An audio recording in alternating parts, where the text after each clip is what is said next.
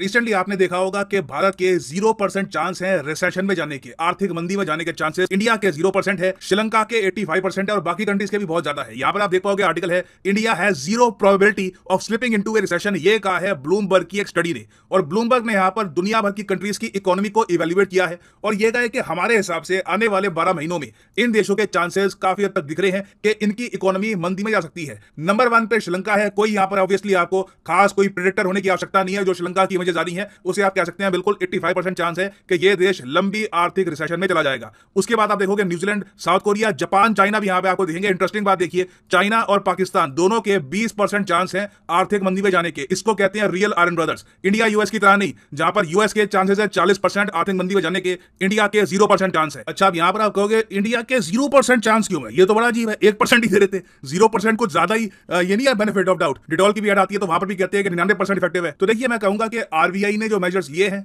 India के पास जो विदेशी मुद्रा भंडार बचा है, उसके अलावा आप अगर देखो तो इंडिया में इन्फ्लेशन कंपेरेटिवली देखो, बिल्कुल, मैं ये नहीं कहूँगा कि भारत में इन्फ्लेशन नहीं है। भारत में बिल्कुल इन्फ्लेशन आई है, आरबीआई उसको कंट्रोल करने की कोशिश कर रहा है, मगर दुनिया के कंपैरिजन में आप अगर देखो we are a lot better दूसरी बात यहाँ पर यह भी है कि सरकार का जो रेवेन्यू है ना, लगातार बढ़ता जा रहा है। सरकार की टैक्स कलेक्शन लगातार बढ़ती जा रही है। सरकार के पास आज के समय इतना पैसा है कि कल को अगर आर्थिक मंदी के संकेत भी आते हैं तो उससे निपटने के लिए इंडिया बहुत से स्टेप्स उठा सकता है। अब यहाँ पर आप कहोगे एक बात बताओ आर्थिक मंदी में एक कंट्री आ चुका है, इसकी डेफिनेशन क्या है? कौन डिसाइड करता है? कोई फॉर्मूला होता है कि अब आपकी ग्रोथ रेट इतनी हो गई तो बाय डिफ़ॉल्ट ये कंट्री आ चुका है रिसेशन में। तो देखिए, इसका कोई ग्लोबली एक्सेप्टेड फॉर्मूला आपको नहीं मिलेगा। रिसेंटली व्हाइट हाउस ने भी इस पर एक ब्लॉग पोस्ट किया। जी हाँ व्हाइट हाउस ने खुद इस पर एक ब्लॉग पोस्ट किया कि रिसेशन होती क्या है। तब हम कहते हैं कि एक देश आर्थिक मंदी में चला जाएगा। तो इसको लेकर देखिए, काफ़ी अर्थशास्त्री ये मानते हैं कि अगर लगातार कई महीनों तक एक देश की ग्रोथ नेगेटिव में जाती रही, वहाँ के लोग परचेसिंग कम कर रहे हैं अनएम्प्लॉयमेंट बढ़ रही है स्टॉक मार्केट अंडर परफॉर्म कर रही है,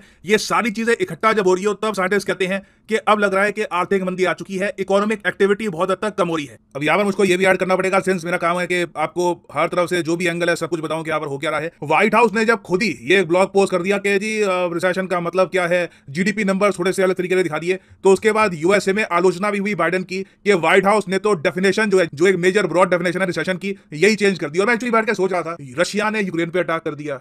चाइना ताइवान पे अटैक करने की लगातार धमकियाँ दे रहा है। लग रहा है कि कभी भी अटैक हो भी सकता है। दुनिया भर में आर्थिक मंदी का खतरा यूएसए में रिसेशन का खतरा जॉब लॉसेस वगैरह ये सब हो रहे हैं।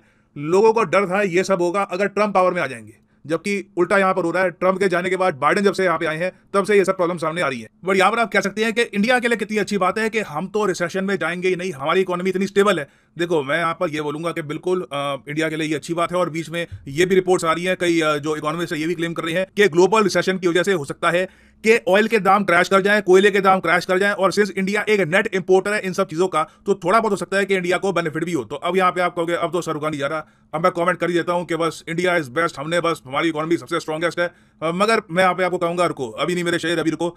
एक प्रॉब्लम यहाँ पर आ सकती है, वो ये है कि अगर यूएसए में रिसेशन आता है, हमारे यहाँ रिसेशन नहीं आता, तब भी हमको झटका लगेगा। क्योंकि याद रखिएगा इकोनॉमिकली हम यूएसए पर यूएसए के साथ जो ट्रेड होता है हमारा, उसे, उस पर हम काफ़ी डिपेंड भी करते हैं। कई जो हमारी मेजर आईटी कंपनी है इन्फॉर्मेशन टेक्नोलॉजी कंपनी जैसे कि टीसीएस इन्फोसिस एचसीएल इनके बड़े कॉन्ट्रैक्ट्स हैं यूएसए में। तो यूएसए में अगर आती है आर्थिक मंदी, वहाँ पर ये लोग कहते हैं कि बस अभी खर्चना कम है, बस अब आर्थिक, अभी इकोनॉमिक एक्टिविटी नहीं हो रही। अगर यूएसए में रिसेशन आती है तो इसका डायरेक्ट आपको झटका लगेगा टीसीएस इन्फोसिस एचसीएल पर, और इससे हो सकता है। मैं कहूँगा अगेन मैं यही कहूँगा कि अगर यूएसए में रिसेशन आती है, अभी भी वहाँ पर ये thirty eight forty percent probability की बात कर रहे हैं तो अगर मान लो रिसेशन अगर वहाँ पे ऑफिशियली आ गई तो उसका झटका लगेगा इन कंपनियों पर और उसकी वजह से हो सकता है कि एक बार को इंडियन स्टॉक मार्केट बुरी तरीके से गिर जाए इंडिया में जॉब लॉसेस हो। थोड़ा बहुत तो देखिए, कष्ट हमको भी इसका होगा। हम इससे बिल्कुल भी आसानी है कि बच जाएँगे। तो यह भी एक न्यूज़ एंड डेवलपमेंट है। इसमें भी काफ़ी और डेवलपमेंट्स आएँगी, काफ़ी इसमें और अपडेट्स आएँगी। तो मैं अपडेटेड वीडियो इस पर लाता हूँ